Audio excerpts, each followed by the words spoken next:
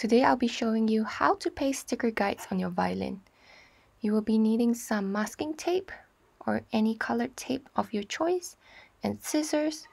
Cut the length of the tape that can go across your fingerboard and prepare four pieces of tape. You will also be needing a tuner. Any tuner that you can download from the App Store is fine. First, you need to tune all four strings, your G, D, A, and E. Before you start the first sticker, put finger number one down on the A string and make sure the tuner reads B. Remember the placement of where your B was and then paste the sticker across.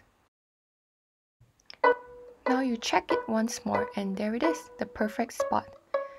The next sticker works the same. Now you go to find C sharp. Paste the sticker across and check. That's good. The next one is D. Put finger number 3 down. It should be close to where C sharp sticker was. Stick it across the fingerboard and check it once more. That's perfect. And we're moving on to the last one, that's E. Put finger 4 down.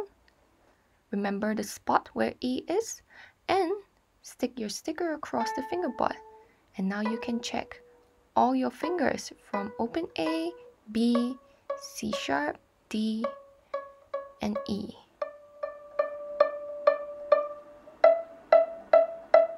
I hope this video is helpful and I'll see you next time. Bye!